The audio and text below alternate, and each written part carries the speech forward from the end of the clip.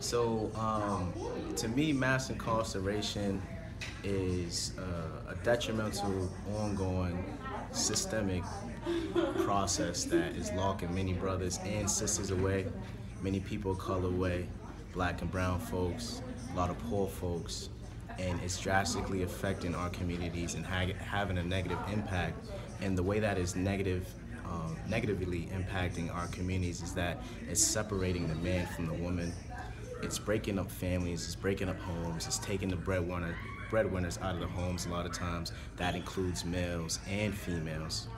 Um, and what it's doing is it's creating communities where we are not cohesive. And because they were not cohesive, we're kind of lost. And also, in terms of economics, the family is the foundation for everything that happens in the community. So when it comes to economics, you need all hands on deck. You know, we came from societies where, you know, down from little children were working and you know from parents to aunts to cousins all were working together. So if you have members of the family who aren't able to work who can't contribute to the financial stability of the household then your household is going to go down the tubes. And so that's why you have a lack of wealth in the uh, you know black community specifically amongst other issues as well. Um, and it's created this it's created this rites of passage where young men of color their rite of passage is going to the prison system as opposed to going to college or mm. getting a trade or going to career. So we need to change this dynamic. And one of the ways we can change this dynamic is by changing the way that police are policing our neighborhoods.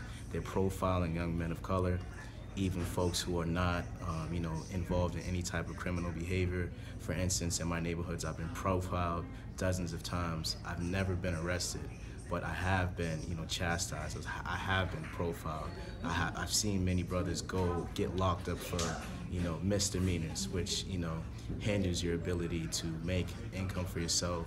If you go to prison, no one wants to marry you. So if you can't get married, how can you raise a family if you don't have that, that unit?